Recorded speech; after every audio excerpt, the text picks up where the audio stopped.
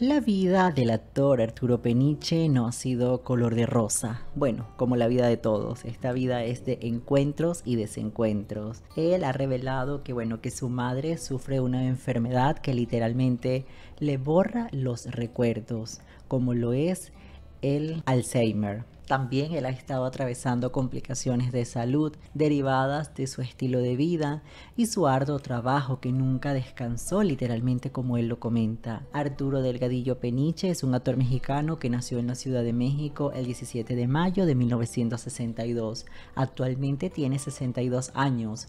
Lo conocemos en todo el mundo por su participación en diversas telenovelas. Ha protagonizado telenovelas como Morelia, La Intrusa y lo hemos visto últimamente en Mi Secreto, Amor Dividido, Top Chef y El Señor de los Cielos.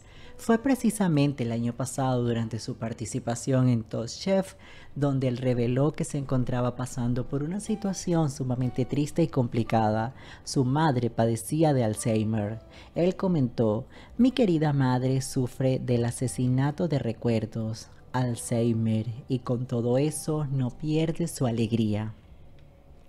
El actor Arturo Peniche quien ha protagonizado importantes telenovelas, compartió que su madre María Zarco, quien tiene 95 años, ya no recuerda nada él compartió que para eso tiene que tener muchísima capacidad y fuerza, pero que muchas veces no tiene la capacidad de afrontarlo como debe ser, ya que según él siempre fue muy apegado a su madre, compartían diversos secretos y por supuesto es muy triste ver cómo tu propia madre no te reconoce, una situación sumamente complicada que las personas, solo las personas que han pasado por algo similar podrían opinar. Mi mami eh, está muy malita de Alzheimer ahora, pero yo sé que sigue siendo mi madre y eso es lo importante. Gracias a ella estoy vivo.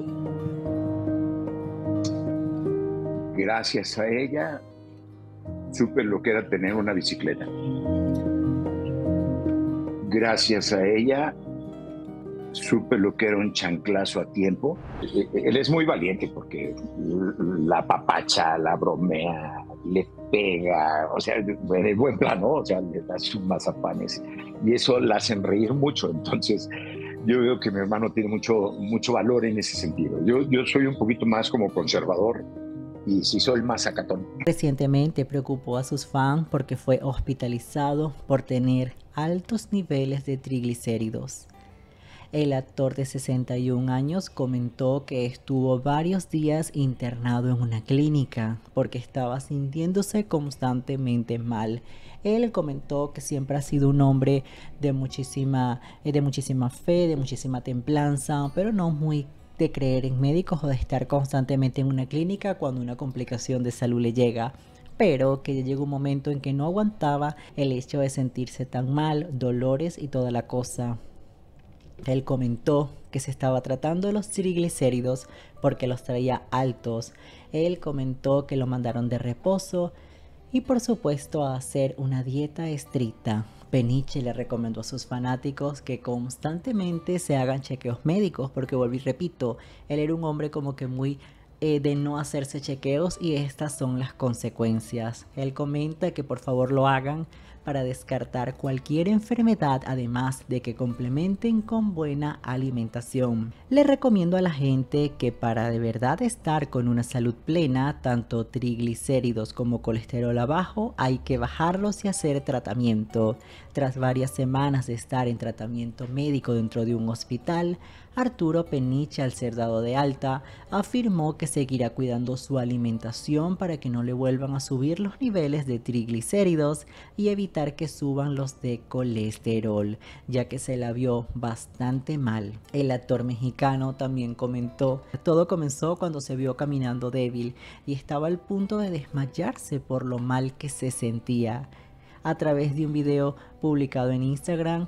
Peniche, padre del también actor y conductor Brandon Peniche, comentó a sus seguidores que también tuvo tifoidea y una bacteria la cual lo debilitó bastante. Le provocó náuseas, vómitos y bueno, allí estuvo hospitalizado Peniche, quien ha actuado en telenovelas mexicanas con reconocidas famosas como Eddie González, Talía y Gaby Spanit, explica que por ir en motocicleta y no taparse la boca, pescó esa enfermedad.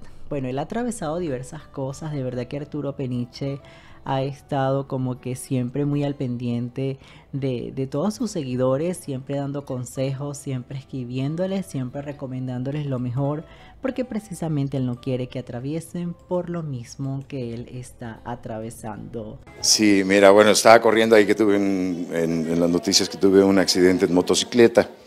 Se puede decir que sí y no, porque yo estaba en el tráfico, atrás de una camioneta, a dos kilómetros por hora, atravesando hacia Villa Verdún. Y resulta que pasa la camioneta y cuando pasa la camioneta me quedé sin moto en las manos. O sea, sin moto. Me refiero a que me caí en una coladera que, no, que, que tiene ya un tiempo que se ha reportado. Eh, yo no recordé que estaba esa coladera. Sabía que ya estaba lastimada, sí, y de alguna manera, pues ya tiene un hueco. Entonces de repente me quedo sin, la moto en las manos y me quedo parado en el, en, el, en el, pavimento. Y pues nada más decirte que al momento de que me caigo ahí, la gente se empezó, se comenzó a impacientarse porque el tráfico estaba pesadísimo. Te digo, a dos kilómetros por hora. Lo aclaro, no iba ni siquiera rápido. Otra situación complicada, familiar, que también está viviendo Arturo y su familia es que el nieto fue diagnosticado con un padecimiento un poco delicado, Bosco presentaba apnea del sueño, un trastorno en donde la respiración se interrumpe por segundos. El pequeño de tres años ya fue operado. Esta información fue confirmada luego de reportar el alta hospitalaria de Bosco, uno de los nietos de Arturo Peniche.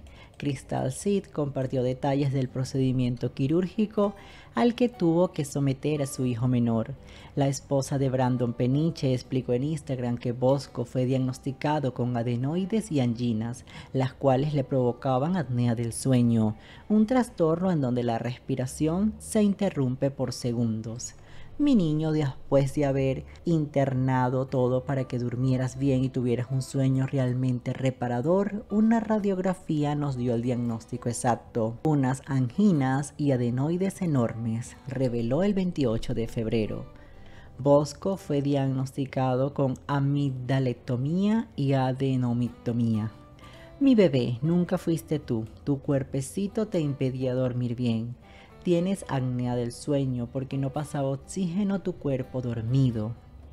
En su publicación, la hija de Charis Sid habló de su miedo al ver a su hijo de 3 años en la cama de un hospital. Finalmente comentó que la operación fue exitosa y que ya se encuentra totalmente recuperado. Gracias a Dios por salvar a este angelito. Te invito a suscribirte y por supuesto también a que me regales un me gusta.